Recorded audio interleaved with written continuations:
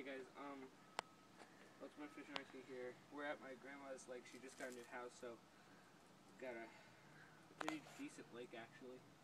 We've caught a couple of small ones and hooked uh, some other ones, but I just got this almost like a Carolina rig worm, a really nice sized crappie. It's probably, I don't know, eight, nine inches long. It's probably almost a pound. I need to let it back, so I'll show you the view of the lake real quick.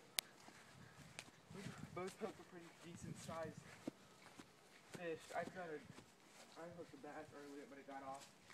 Because I was using a little small grub. It's pretty cold out here, so the water's cold, and we need to use um slower baits.